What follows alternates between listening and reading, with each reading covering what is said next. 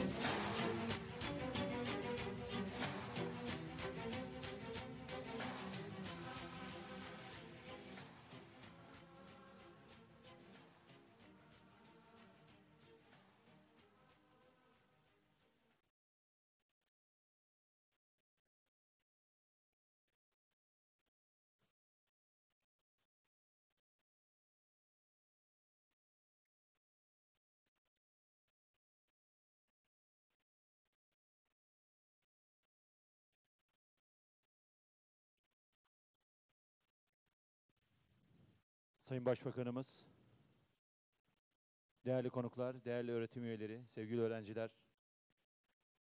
Pamukkale Üniversitesi bünyesinde yapımı tamamlanan tesislerin açılışı ile Pamukkale Üniversitesi'nce Başbakanımız Sayın Recep Tayyip Erdoğan'a tevdi edilecek Fahri Doktora töreni vesilesiyle bir araya gelmiş bulunmaktayız. Teşrif eden tüm konuklarımızı saygıyla selamlıyor. Hoş geldiniz, şeref verdiniz diyoruz.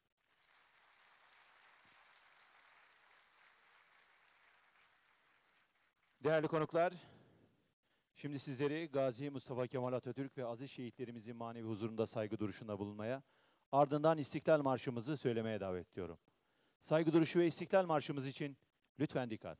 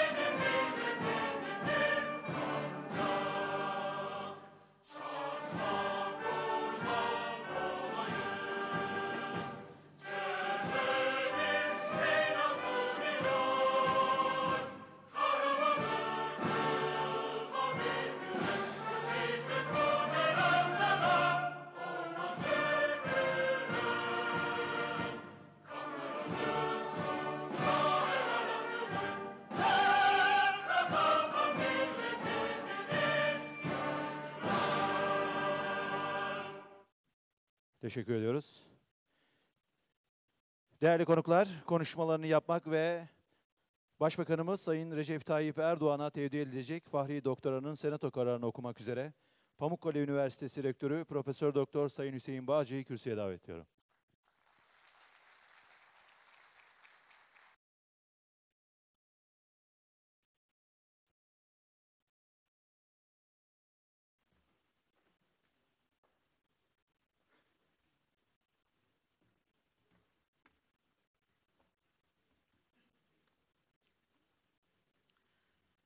Sayın Başbakanım, saygıdeğer hanımefendi, sayın bakanlarım, sayın valim, sayın milletvekillerim, sayın belediye başkanım, Pamukkale Üniversitesi Senatomuzun değerli temsilcileri, değerli hocalarım, sevgili öğrenciler ve değerli konuklar.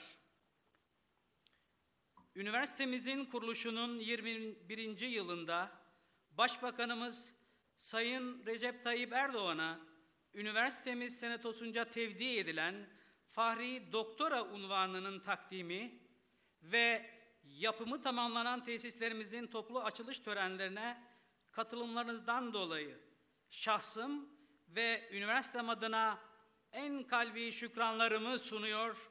Hepinize hoş geldiniz diyorum.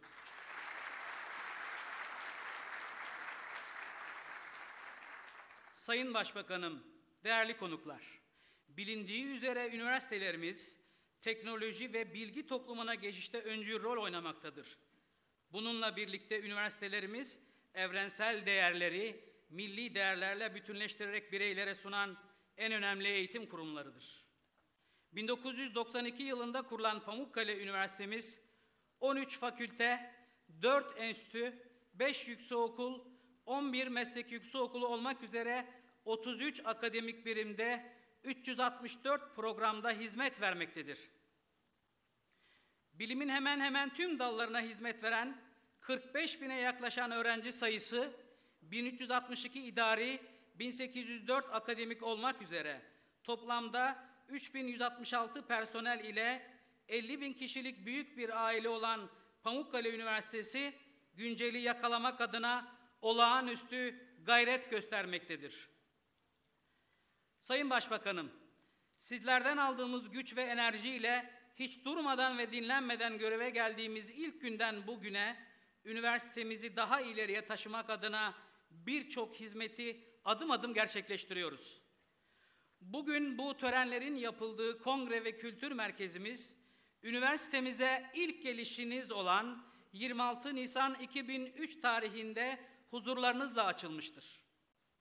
Pamukkale Üniversitemiz teknoloji, altyapı, spor, eğitim, teknokent, ARGE ve sağlık sektörlerinde yaptığı atılımlarla ve kapalı alanlardaki artışı ile bölgesinde sözü edilen bir araştırma kurumu haline gelmiştir. Pamukkale Üniversitemiz eğitim, mühendislik, tıp ve sağlık alanlarında gerek uygulamaya, gerekse literatüre koyduğu katkılarla Bologna ve uluslararlaşma sürecinde Avrupa Birliği üniversiteleri arasında öğrenci ve personel hareketleri bakımından yapılan değerlendirmede ilk 100 üniversite içinde yer almıştır.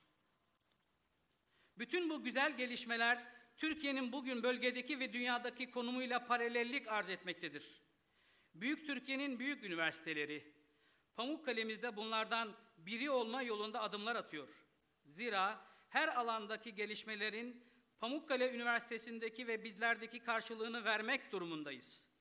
Üzerinde yaşadığımız toprakların ciddiyeti, bu toprakların bilim adamı yetiştirmedeki ustalığına 21. yüzyılda da göstermek bizim için asli bir görevdir.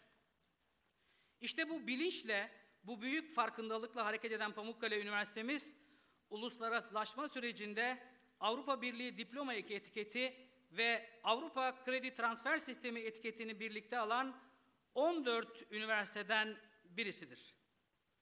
Sayın Başbakanım, bugüne kadar yürüttüğünüz akılcı dış politika, kültür ve medeniyetin öğretimi, çağın ulaştığı hayati fikirler sisteminin tesis edilmesi, insanımızın kültür ve fikir seviyesinin yükseltilmesi gibi başlıklarla özetleyebileceğim birçok önemli adımı dünya lideri olarak başarıyla attınız. Bu sadece günü çağa ait olanı içselleştirmekle değil, medeniyetin analiziyle olur. Birçok büyük başarının ardındaki en büyük başarı kadim medeniyetimizin en iyi şekilde analiz edilebilmesidir. Şimdi medeniyet batıdan uzaklaşıyor ve geldiği yere dönüyor. İşte ustalık diye tarif edilen bu medeniyet tasarrufudur. Bugün ahilik törenlerinden teşrif ettiniz. Oradan ahilerin ve sizin mesajlarınızı tüm dünyaya duyurdunuz. En büyük sermayenin güzel ahlak, en büyük kazancın insan ve en büyük karın gönül olduğunu paylaşmak, dayanışmak ve hepsiyle beraber kardeşlik.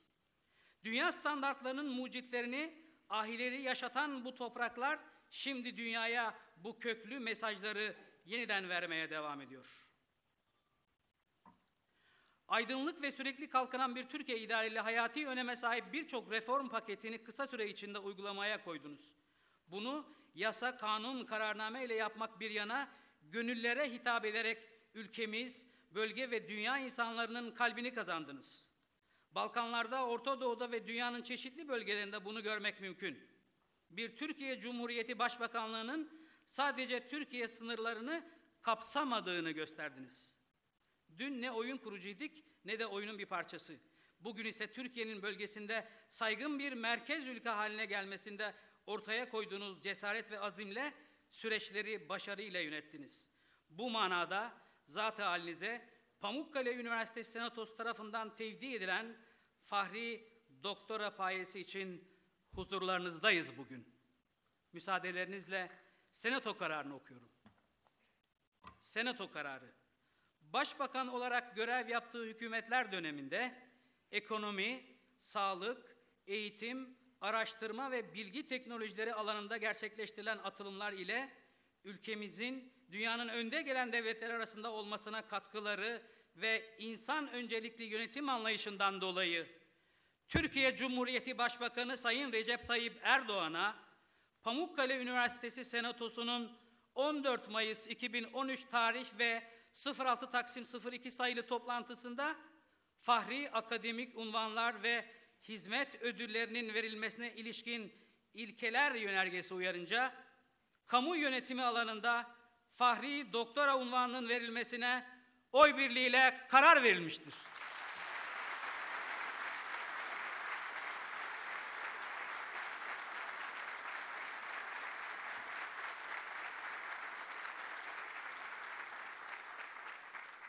Değerli konuklar, 2003-2012 tarihler arasında üniversite hastanemizin ilk ünitesi, Mühendislik ve Teknik Eğitim Fakülteleri, Spor Merkezi ve Pamukkale Hastaneleri ana bloğumuz Başbakanımızın daha önceki ziyaretlerinde açılmıştır.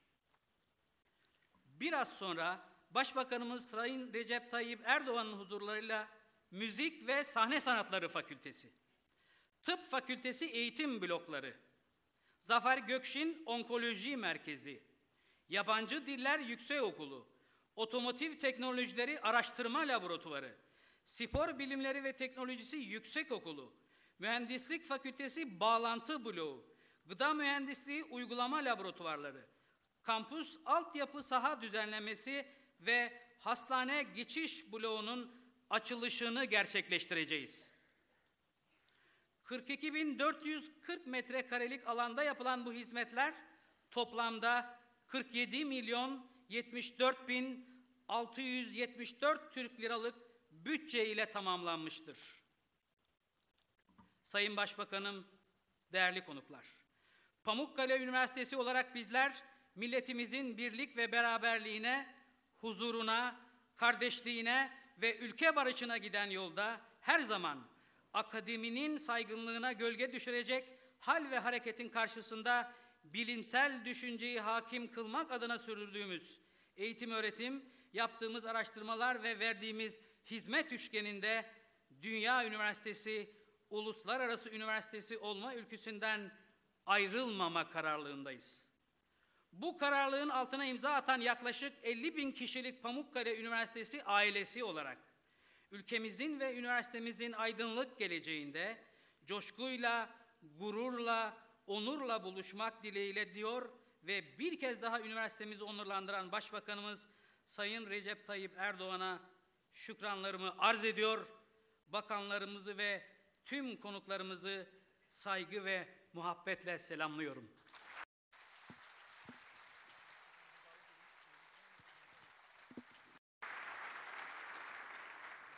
Sayın Başbakanım, Senatomuzun oy birliğiyle aldığı karar çerçevesinde Fahri Doktora payesinin tevdi etmek üzere arz ediyorum efendim.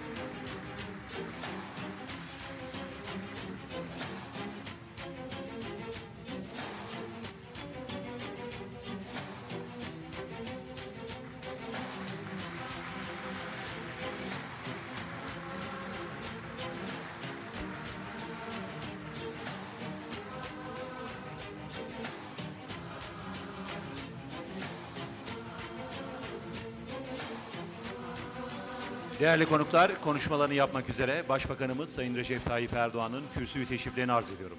Buyurun Sayın Başbakanım.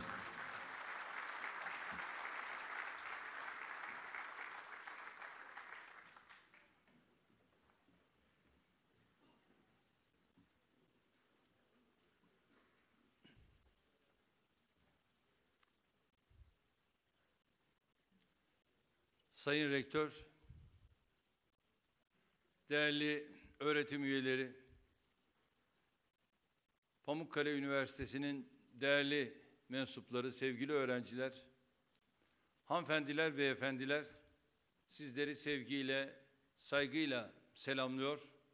Pamukkale Üniversitesi tarafından şahsıma tevdi edilen bu anlamlı Fahri Doktora ünvanı için Sayın Rektörümüze, Senato mensuplarına, dekanımızın şahsında İktisadi ve İdari Bilimler Fakültemize yürekten şükranlarımı sunuyorum.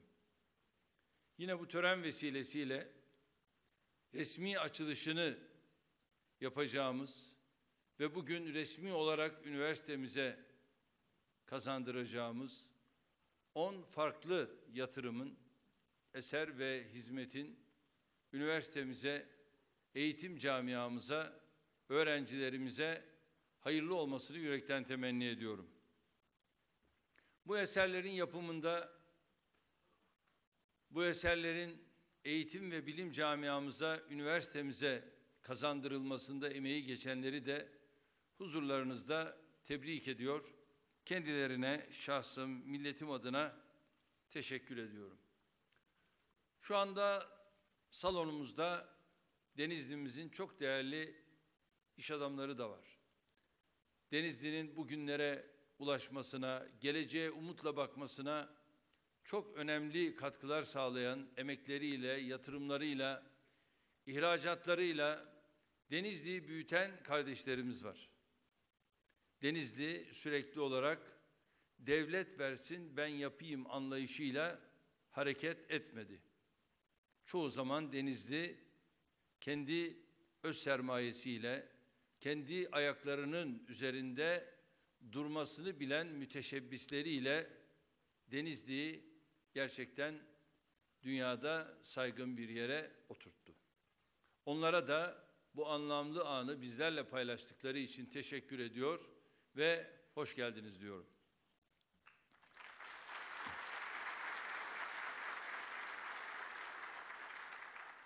Yine bu anlamlı buluşma vesilesiyle gerek Pamukkale Üniversitemizde gerek tüm üniversitelerimizde 2013-2014 akademik yılın hayırlı olmasını, tüm öğrenci ve akademisyenlerimiz için başarılı geçmesini Rabbimden niyaz ediyorum.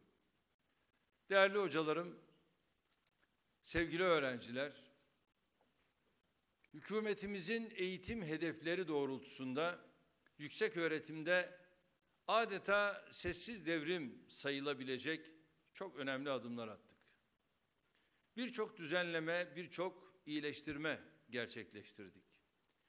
Yüksek öğretim bütçesi bunun altını çizmem gerekir.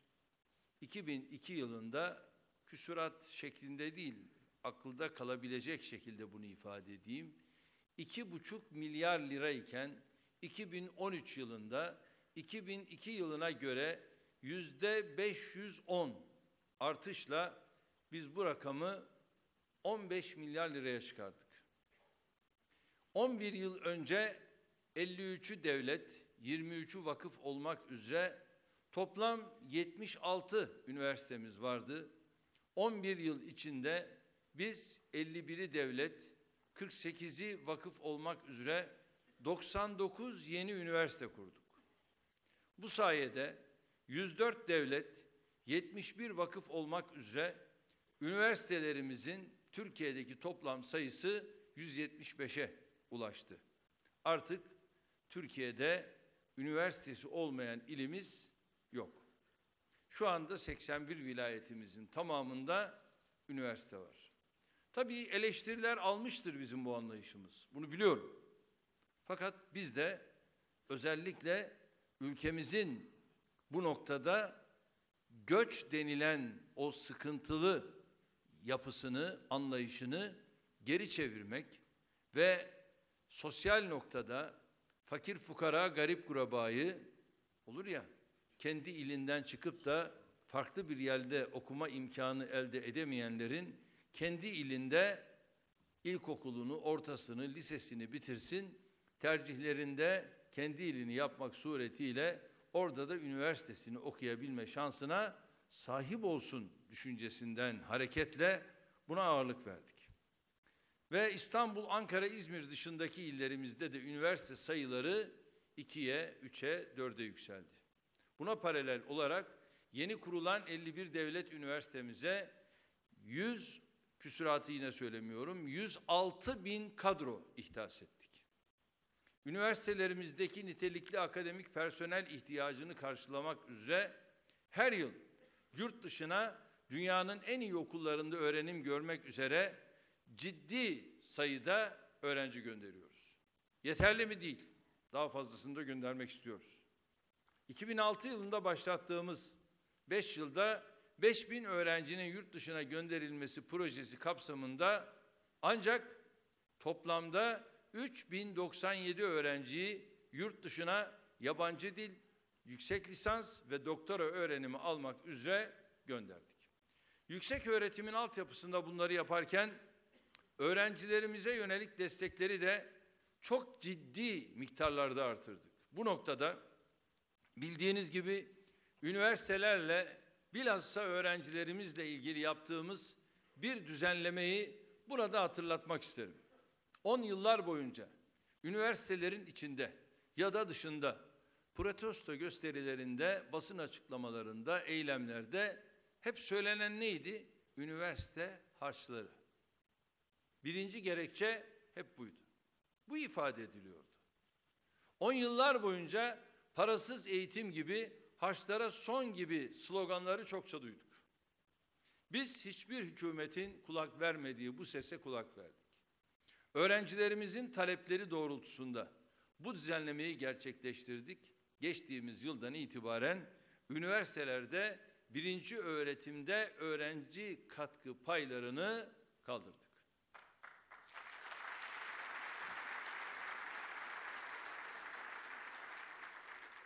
Biliyorsunuz artık açık öğretim öğrencilerinden de harç alınmıyor. Onu da kaldırdık. Şartlar olgunlaştıkça, imkanlar el verdikçe eğitimle ilgili her türlü iyileştirmeye, her türlü adımı atmaya devam edeceğiz. Bu tavrımızı, bu tutumumuzu her noktada sergiliyoruz. Üniversite öğrencilerimizin barınma, kredi ve burs ihtiyaçlarını karşılama, iyileştirme noktasında sağladığımız ilerlemeler de işte ortada. 2002 yılında 193 yurtta 188 bin öğrenciye hizmet verilirken şu anda 365 yurtta 303 bin öğrenciye hizmet veriyoruz. Aynı şekilde göreve geldiğimiz günden bu yana verdiğimiz burs ve kredilerde de yüzde 522 oranında iyileştirme gerçekleştirdik. Bakın biz göreve geldiğimizde öğrenci bursları hatırlayın neydi? 45 liracık. Şu anda burs ve kredi 280 liraya çıktı. Kredi Yurtlar Kurumu'nda kalıyorsa beslenme yardımı olarak da 200 lira veriyoruz. 480 lira. Yüksek lisans öğrencisi 11 yıl önce ne alıyordu? 90 lira. Bugün ne alıyor? 560 lira. Doktora öğrencisi ne alıyordu? 135 lira. Bugün ne alıyor? 840 lira.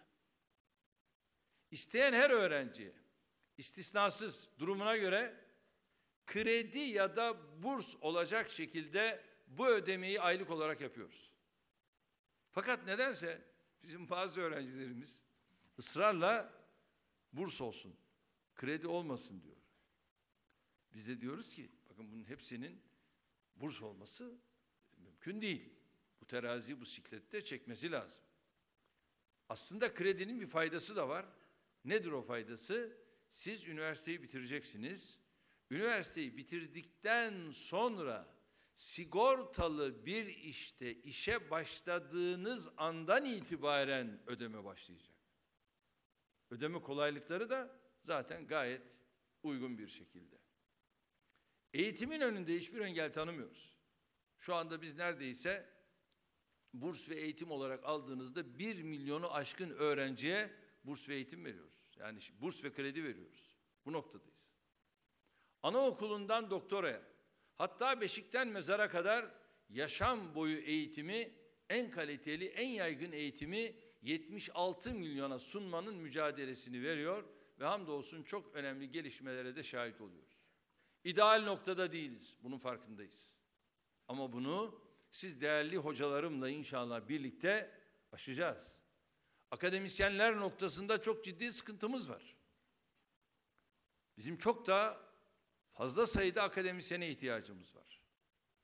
Hatta biliyorsunuz şu anda senato kararıyla beş kata kadar maaş artırma yetkisi var üniversitelerimizin. Bu nedir? Kalifikasyon meselesi. Yani sadece olay kariyerle bitmiyor. Profesör olur ama hakikaten performans noktasında belli bir performans ortaya koyabiliyorsa burada da senato ücretleriyle oynayabilir. Yurt dışından akademisyen getirebilir ve getirdiği zaman da onlara işte ellerindeki bu imkanı kullanarak burada onları istihdam etme imkanı olabilir. Bakınız burada sizlere özellikle bir hatırlatmada da bulunmak istiyorum. Türkiye artık eski Türkiye değil.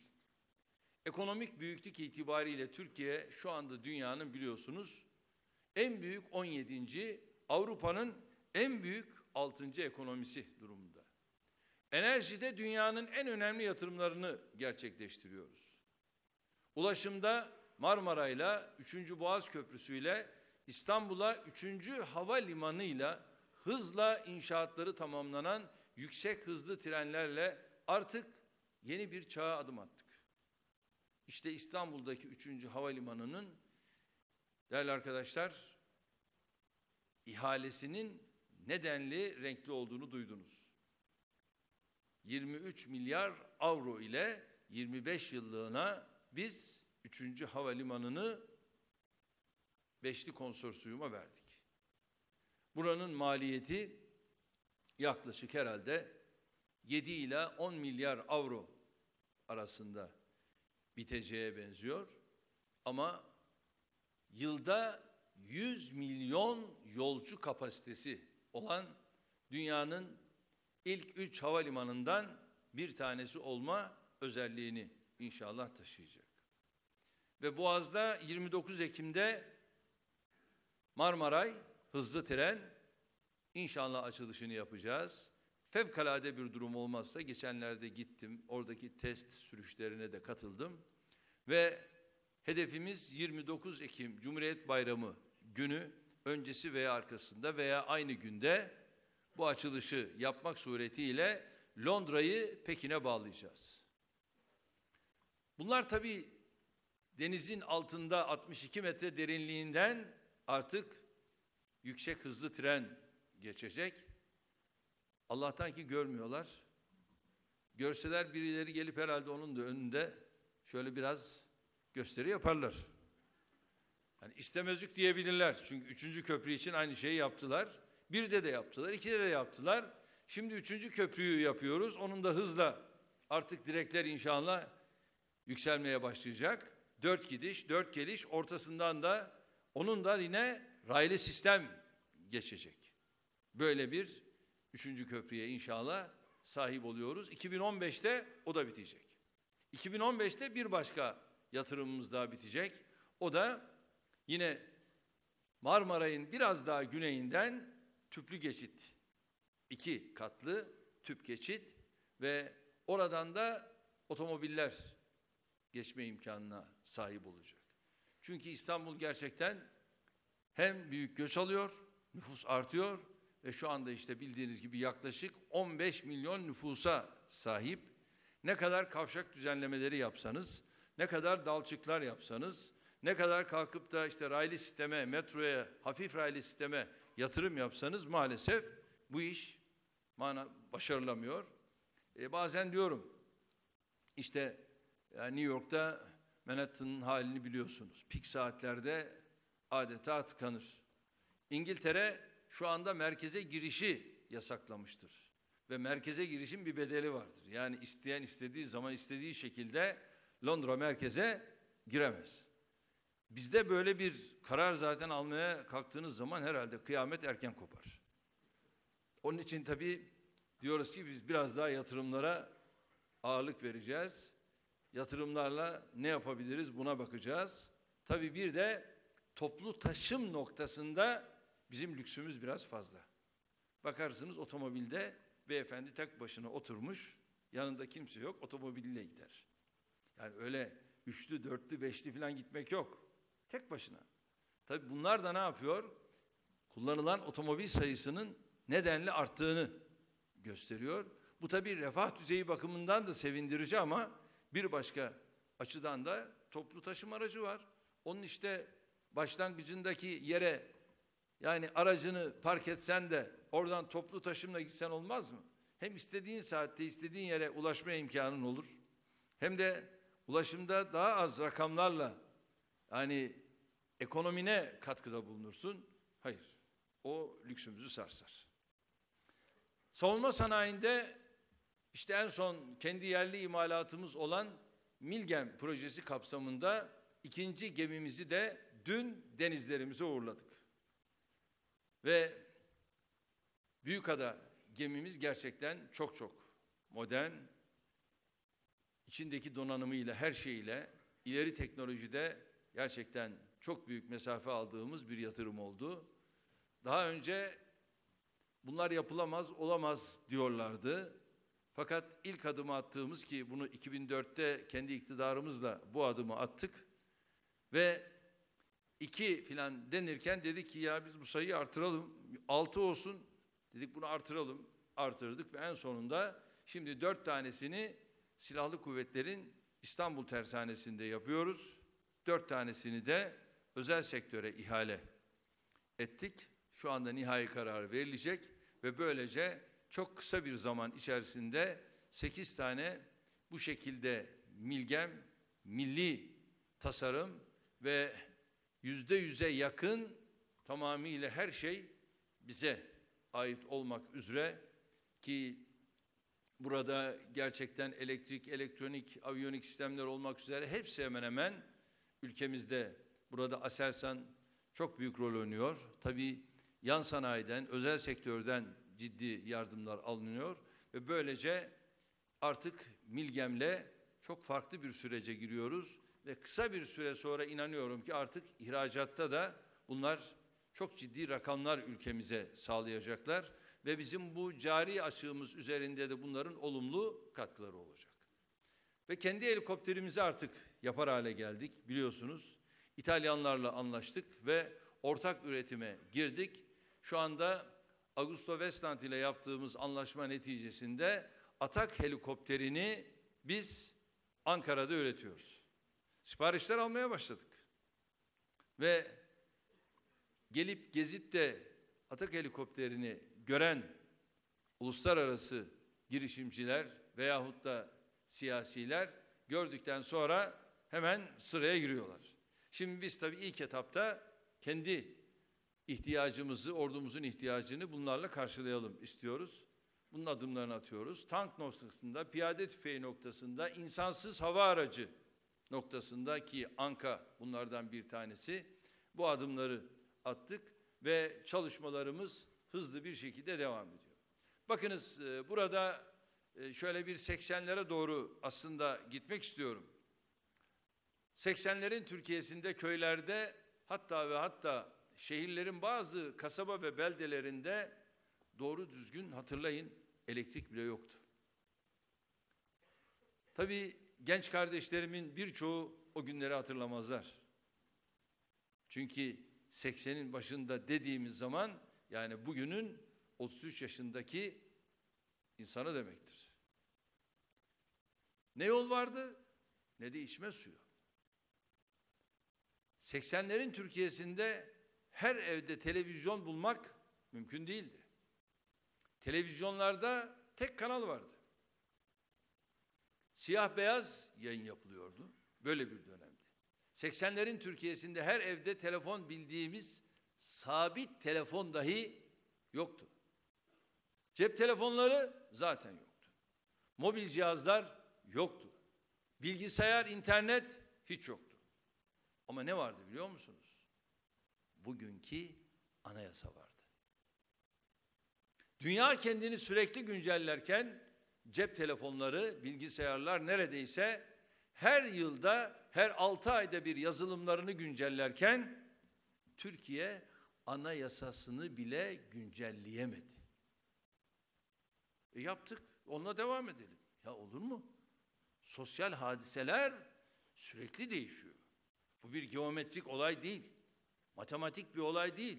Yani iki kere iki dört. E 10 sene, 20 sene, 30 sene, 50 sene önce de 4, e 50 sene sonra da 4. Tamam ama anayasa böyle değil ki. Buranın sosyal, siyasi bütün bu yapılarını ele almak zorundasın. Bunu değerlendireceğiz. Bunun üzerinde çalışmamız lazım. Bunu güncellememiz lazım. Ama çeşitli yamalar yapıldı. Çeşitli bölümleri güncellenebildi. 12 Eylül'de yeniden nefes üflenen aslında 27 Mayıs'ta ülkenin üzerine çöken o karanlık ruh anayasadan giderilemedi. Anayasanın bu katı özellikle de herkesi kuşatmayan 76 milyona aynı nazarla bakacak kadar kucaklayıcı olmayan ruhu ne yazık ki yasalarımıza, hukukumuza, siyasetimize de sirayet etti. Şu anda ülke olarak yaşadığımız sorunların birçoğunun altında değerli hocalarım, sevgili öğrenciler, katılımcılar inanın işte 27 Mayıs'ta atılan o çarpık temel ve onun üzerine bina edilen çarpık anlayış buluyor. Dünya hızla değişiyor. Türkiye'de toplum, özel sektör, gençlerimiz, iş adamlarımız bu değişime hızla ayak uydururken ne yazık ki sistem bu hızla yeterince ayak uyduramıyor. Hükümet olarak 11 yıl boyunca Türkiye'de ne yapabiliriz? Ayak bağı olan Türkiye'ye adeta bir pranga gibi bağlanıp hareket kabiliyetimizi engelleyen bu karanlık noktaları nasıl yok edebiliriz? Cesaretle bunun üzerine gittik. Anayasadan yasalara, yönetmeliklerden uygulama sorunlarına kadar işleyişi engelleyen, yavaşlatan noktaları tespit ettik. Ve bunları büyük bir ülkeye, demokratik, laik, sosyal bir hukuk devletine yaraşır şekilde yeniden düzenledik. Fakat çok çarpık şeyler oluyor tabii. Örneğin, efendim partiler kapatılamaz. Doğru. Buna şiddetle karşıyım. Onun için de malum 26 maddelik anayasa paketinin 27. maddesi yani bir maddesi de partilerin kapatılmasını adeta ortadan kaldıran bir maddeydi. Çok ilginç. Onun oylamasına geldiğinde muhalefetin tamamı salondan yok oldu. Ama ne yazık ki benim partimin, benim grubumun içinden de üç kişi bize ihanet etti. Ve biz 330'u yakalayamadık. Eğer 330'u yakalamış olsaydık artık partilerin kapatılması Türkiye'de tarih olacaktı. Hem bundan dert yanacaksın hem de gelip orada desteğini vermeyeceksin. Ve şu anda bile bizim tezimiz hep şudur. Tüzel kişiliklerin cezalandırılması asla doğru değildir. Bu tüzel kişi. Gerçek kişi cezalandırılır. Tüzel kişi niye cezalandırılsın ki? Suçu işleyen kim? Genel başkan. Başkan. Mensuplarından birisi. Kimse onu yargıla. Yani kalkıp da affedersiniz kanıyı veyahut da ne bileyim bir tane oradaki arabayı cezalandırmak e böyle bir şey olabilir mi? Bunun bir mantığı olabilir mi? Bunlar eskiden fıkra olarak bize anlatılırdı hatırlarsanız. İşte tank cezalandırıldı filan diye, top cezalandırıldı diye. Yani bu, biz hala burada mıyız ya? Tank top cezalandırılır mı? o tankı kullanamayan veya yanlış kullananın cezalandırılması lazım. Yapılması gereken bu. E şimdi de güzel kişilikte ona ceza veriyorsun. E gerçek kişiye değil. E, yanlış. Onun için partiydi, vakıftı, dernekti. Bunların kapatılması tamamıyla yanlış. Bunlar tarih olmalıdır. Özellikle ekonomiye, özellikle bir arada yaşama imkanlarına ayak bağı olan, yük olan prangaları hamdolsun büyük ölçüde söküp attık.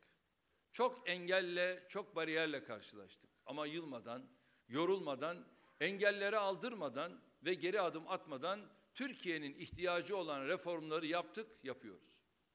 Şunu bilmenizi isterim ki bu bir süreçtir. Sonu olmayan, her an kendisini yenileyen bir süreçtir. Bugün nihai noktaya gelmiş durumda değiliz. Aslında hiçbir zaman nihai bir nokta olmayacak.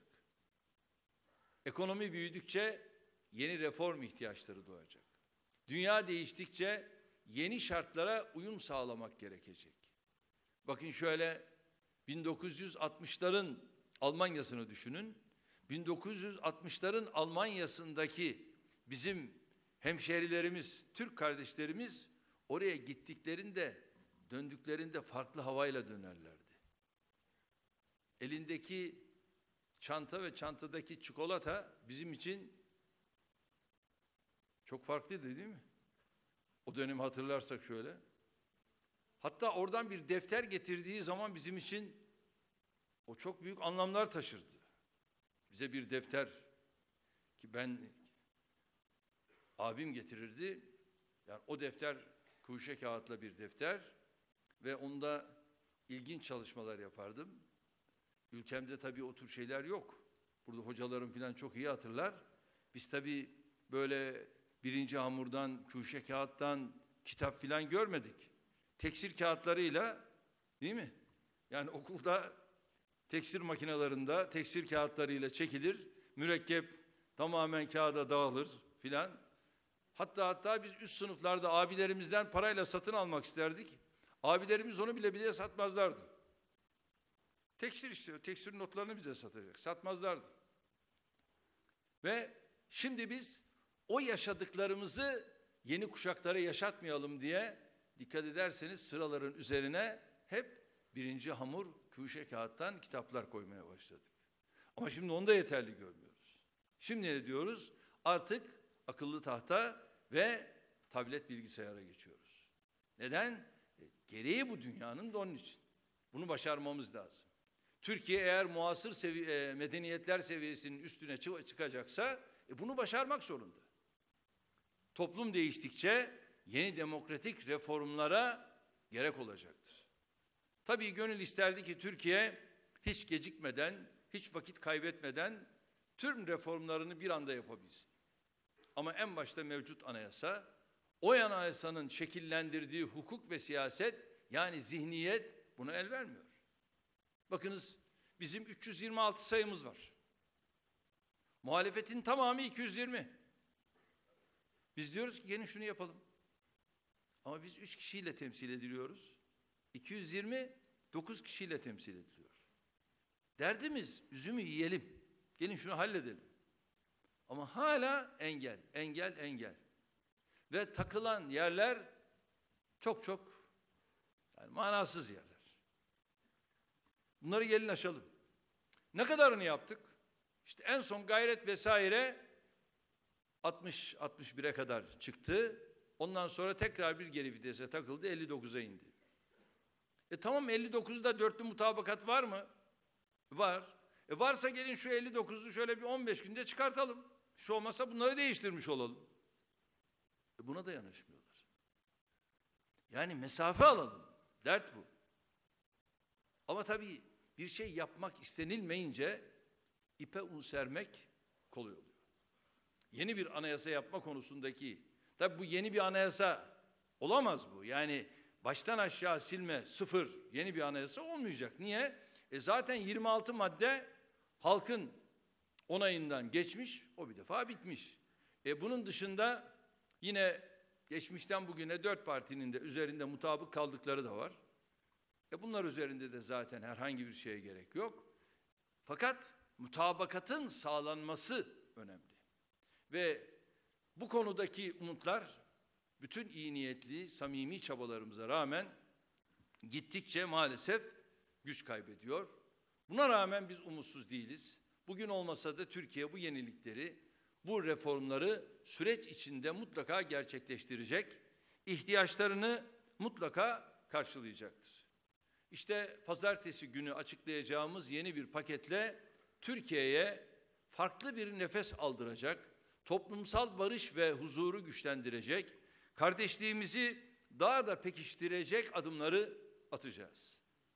Daha önceki tüm reformlar gibi ekonominin bu paketten son derece olumlu etkilenmesini bekliyorum. Daha da gücümüzün artacağına inanıyorum. Aynı şekilde demokrasinin de bu paketle daha fazla güç kazanacağına, toplumsal barışın, kardeşliğimizin daha da kuvvetleneceğine inanıyorum. Bu paket sadece belli kesimlerin, sadece belli mağdurların değil, 76 milyonun eşit derecede memnuniyet duyacağı bir paket olacaktır. Adeta yaşayan bir organizma gibi olan bu yenilenme sürecinde bu paket son derece önemli bir aşama olacak. Yeni imkanlara ve fırsatlara da zemin hazırlayacaktır. İnanıyorum ki yine bu paket bilgisayar kavramlarıyla söylersek yeni nesil bir Türkiye'yi ortaya koyacaktır. Değişimden, dönüşümden, tekamülden asla korkmayalım. Altını çizerek ifade ediyorum. Özellikle üniversitelerin, özellikle gençlerin değişimden korkması üniversitenin ve gençliğin ruhuna, tabiatına aykırıdır. Gençlerimizin geçmişte yaşanan direnci, bu direncin de özellikle gençlerimizi nasıl kullandığını görmesini protesto ederken aslında neyi protesto ettiklerini bilmelerini özellikle arzu ediyorum. Şundan hiç kimsenin kuşkusu olmasın. Türkiye'de reformcu bir hükümet vardır. 76 milyonu bir olarak kucaklayan bir hükümet vardır. Türkiye değiştikçe büyüyecek, dönüştükçe ilerleyecek, demokratikleştikçe kalkınacaktır. Bunu da inşallah hep birlikte üniversitelerimizle, gençlerimizle, özel sektörümüzle 76 milyon her bir vatandaşımızla yapmaya devam edeceğiz. Ben bu düşüncelerle sözlerime son verirken bir kez daha şahsıma tevdi edilen Fahri Doktora ünvanından dolayı Sayın Rektöre ve Senato'ya tüm mensuplarına huzurlarınızda şükranlarımı sunuyorum. Açılışını yaptığımız eser ve hizmetlerin hayırlara vesile olmasını diliyorum. Pamukkale Üniversitesi'nin tüm öğrencilerine, tüm üniversite camiasına başarı dileklerimi iletiyor. Hepinizi sevgiyle, saygıyla selamlıyorum.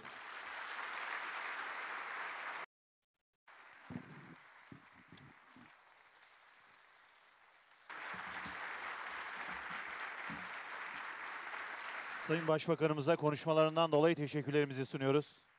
Değerli konuklar, Pamukkale Üniversitesi bünyesinde yapımı tamamlanan tesislerin açılış kurdalasını Başbakanımız Recep Tayyip Erdoğan kesmek suretiyle hizmet açacaklardır. Sayın Başbakanımıza refakat etmek üzere saygıdeğer hanımefendiyi, bakanlarımızı, sayın rektörümüzü, valimizi, milletvekillerimizi, TOKİ başkanımızı, belediye başkanımızı, eski bakanlarımızdan AK Parti Genel Merkez Kadın Kolları Başkanı'nı, Sayın Güllal Akış hanımefendiyi, AK Parti Denizli İl Başkanı'nı sahneye davet ediyoruz.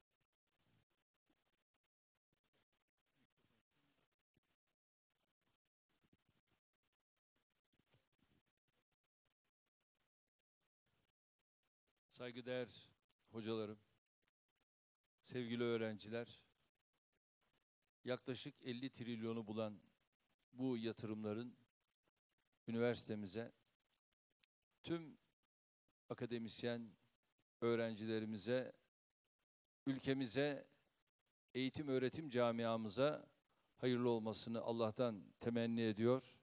Kordeleyi bu temenni ile kesiyoruz. Ya Allah, Bismillah.